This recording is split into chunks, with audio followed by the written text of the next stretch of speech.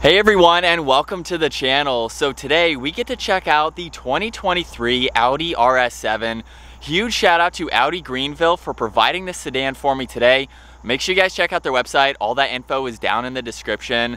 The RS7 that you see behind me is finished off in Floret Silver Metallic with an MSRP just over $138,000. And to start off today's review, let's take a look at what powers this RS7.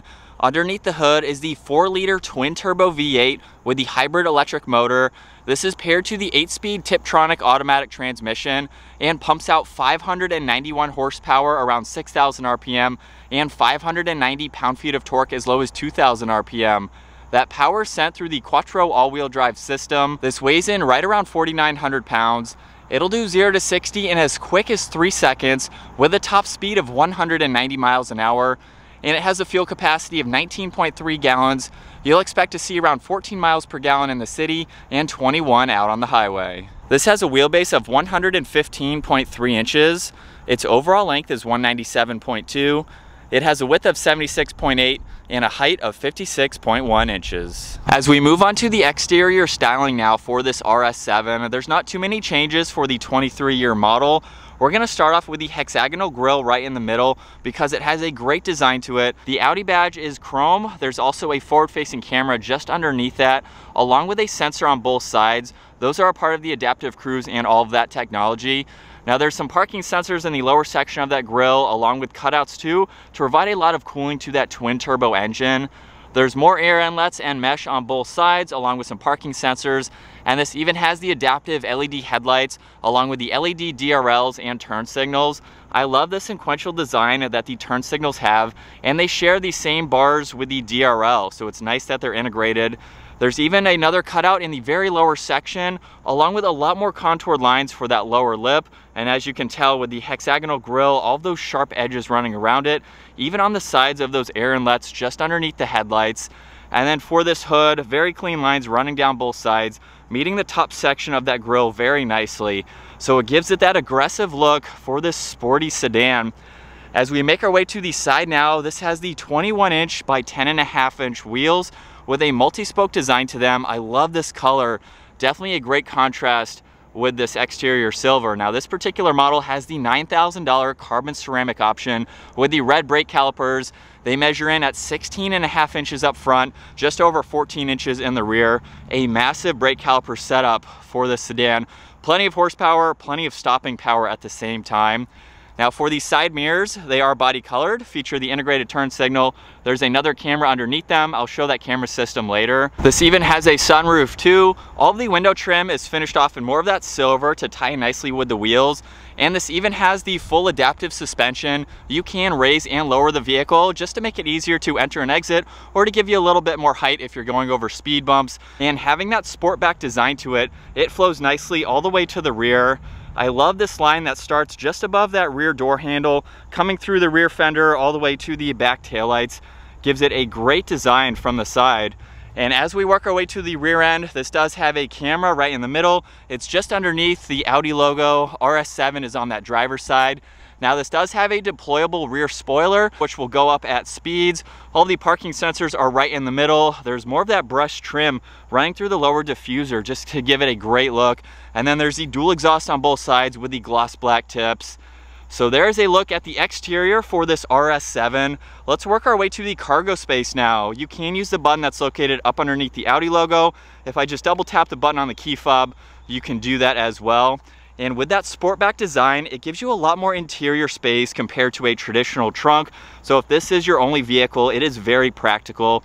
Now over on the driver's side, there's a net for a little bit of storage. There's tie down hooks so you can safely secure items.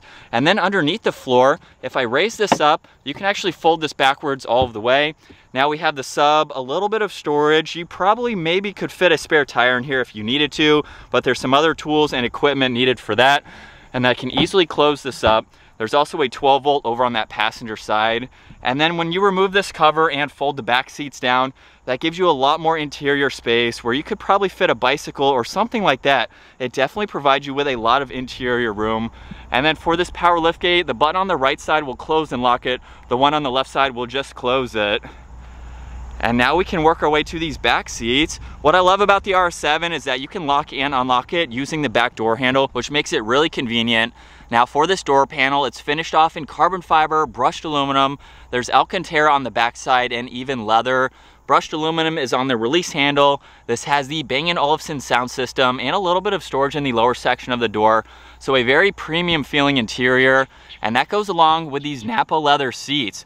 RS is nicely embroidered in the top. There's a nice hexagonal pattern running down the inserts.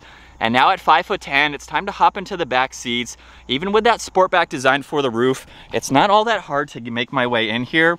And with the front seat set at my height, I have plenty of room. There's also a net behind both front seats for added storage.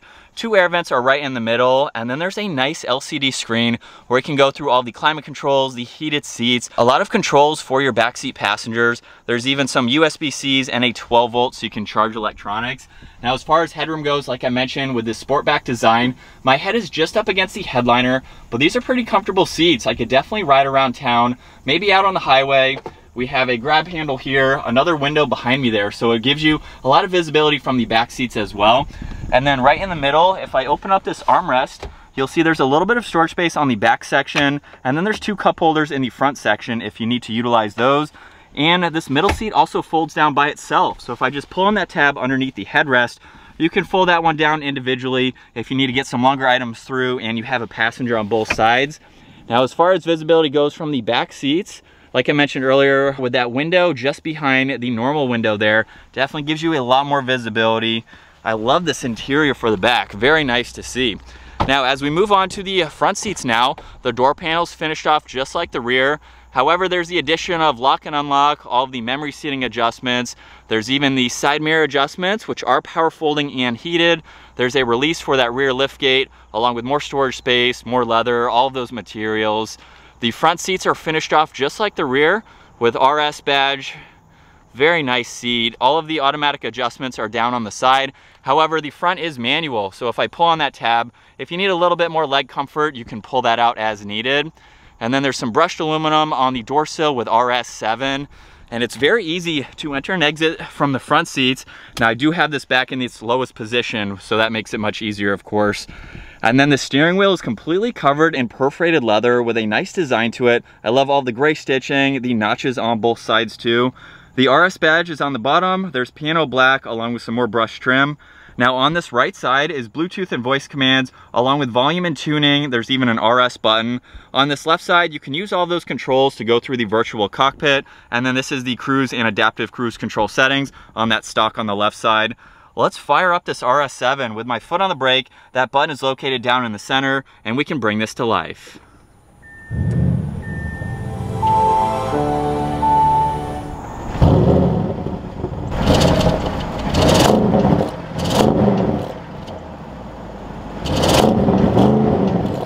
And then looking at this virtual cockpit now, currently you can see the navigation on the left side. Tach is right in the middle along with miles per hour and what gear the vehicle is in.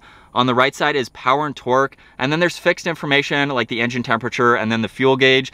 Now to go through all that other information using these controls, currently it's showing the navigation. If I scroll over, now we can look at your Bluetooth when you have that paired along with music. And then there's a few more settings to go into like driver assistance. You can pull up your long and short-term memory along with your consumption and then look at the date and the time.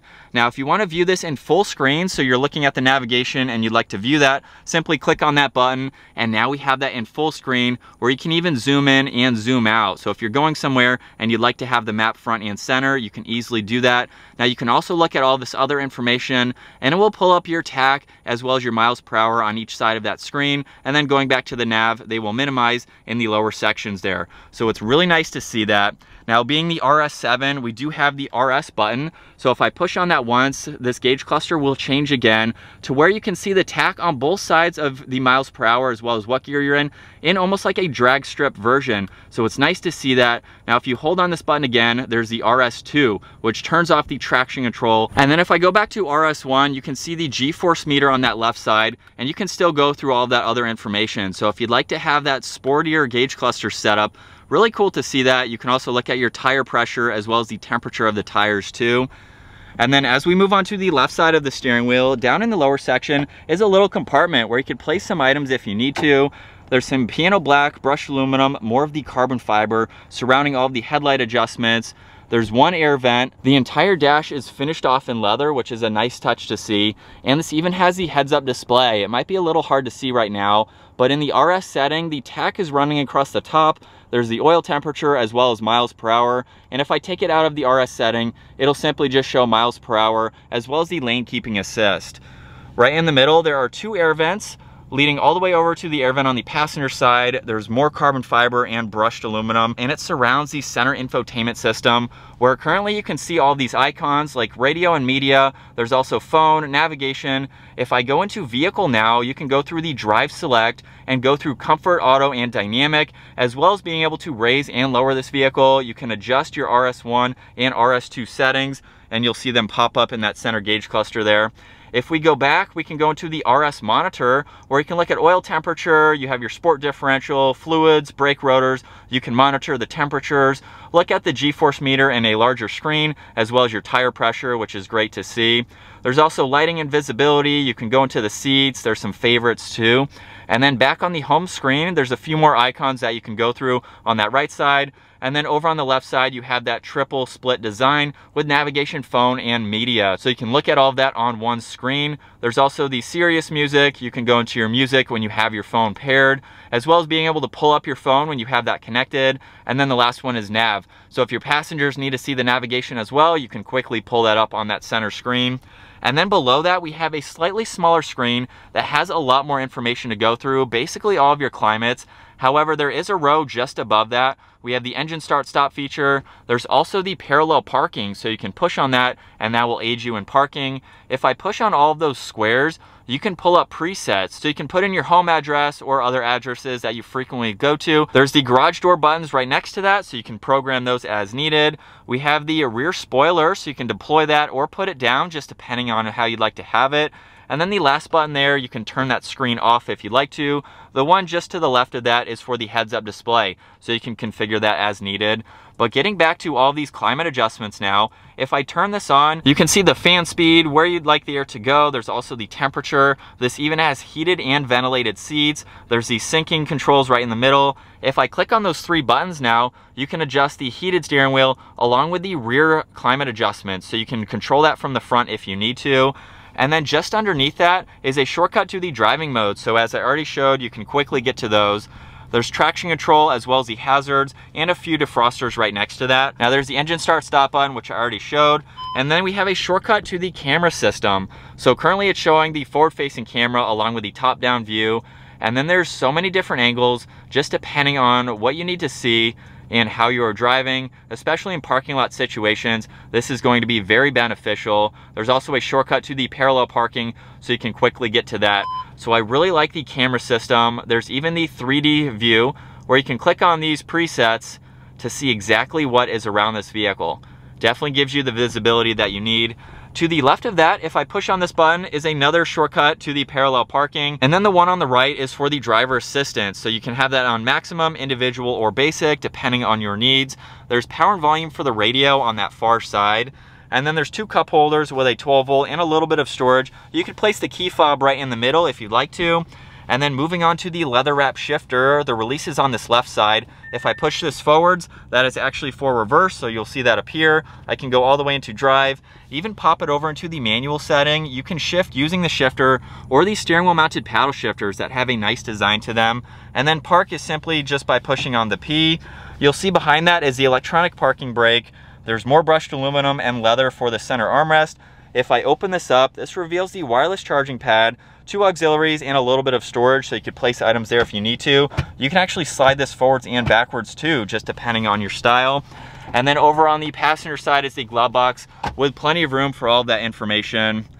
We'll take one last look at these seats, which have a nice design to them. And as I mentioned, this does have a sunroof. That adjustment is in the middle for the sunshade, as well as being able to open up the sunroof all the way. So that is nice to have. There's also the touch sensitive dome lights on each side and a call button on the back. As we get behind the wheel now for this 23 Audi RS7, this is probably one of my favorite family style sedans that has that sportback design to it. It also has plenty of power paired with that all-wheel drive system. You definitely don't have to worry about getting all that power sent through the tires and to get you up and moving. Now, I had a friend who owned an RS7, and I think has made right around 700 horsepower to the wheels. So right under 600 from the factory is pretty awesome to see, but the tuning potential for the RS7, if you have a family, you need this practicality, but you also want to do this. And that was just in normal mode. I haven't put it into the RS setting yet. This is so much fun and taking turns like that, even with the adaptive suspension, it handles well. This is a performance oriented family style vehicle that I could definitely get on board with. And aside from the performance, Audi is just known for having a very nice interior, especially for the price point too. Carbon ceramics do a good job coming around that turn. You almost forget that you're in a four-door vehicle I mean, I can see the, the back arches like I mentioned earlier. As far as visibility goes now, I can easily see over this left shoulder, plenty of glass in all directions. And with it in the RS setting, I am surprised that it doesn't get much louder in the RS setting. I think it would be cool to see more of an active style exhaust to it because when you put it from dynamic even into a comfort or individual, not much of a change. As you heard in the exhaust revs, RS doesn't really change it that much. So I would like to see a little bit more of a loud exhaust. If you want that option, you can shut it off or you can turn it on, which I think would be really cool to see. And as we switch over to the POV angle, you can see what it's like to be behind the wheel of this RS7. So as we come around this turn, we can do another acceleration.